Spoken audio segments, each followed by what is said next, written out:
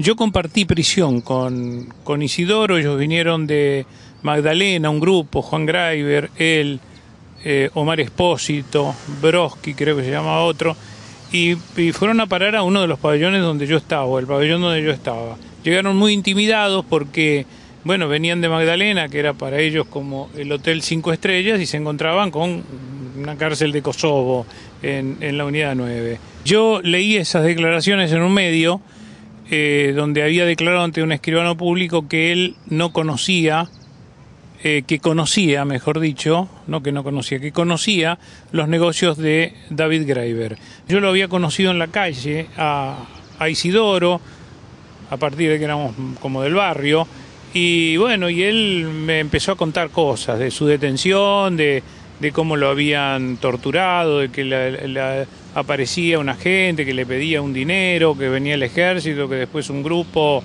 eh, guerrillero le pedía ese dinero también. Bueno, toda una historia que él absolutamente desconocía. Me dijo, yo no conocía los negocios de mi hermano, no, no sabía realmente qué era lo que pasaba con supuesto, supuesta deuda que, que Isidoro eh, que David tenía.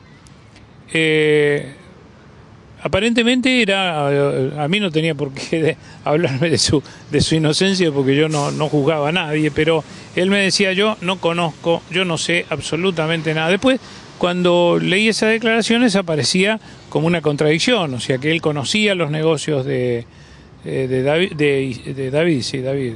Lidia Papaleo le pidió que declarase eh, a raíz de entonces entonces usted yo le voy a pedir que declare en la en la causa. Ella me dijo después ella me dijo después que iba a ser querellante en esa causa y que me iba a pedir que yo que yo declare. Yo le dije que sí, que no tengo ningún problema.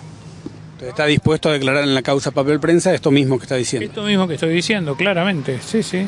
Lo, lo, cuanto sé, a mí me había dicho que él desconocía los negocios de su hermano, que se sentía apretado, que intimidado, que lo habían secuestrado, que, o que lo habían intentado secuestrar, que entonces fue a hablar con el eh, general Viola, diciéndole que el coronel Vaquero lo había ido a ver, después el, el general Viola hizo entrar una persona, eh, la presentó, o se presentó y dijo que era el, el, coronel Vaquero, y él dijo, no, ese no es el coronel Vaquero. Y en ese momento quedé detenido, dice, porque ya eh, era, el, era el, el, coronel Vaquero, que era una persona distinta de la que a mí me venía a, a presionar, a apretar.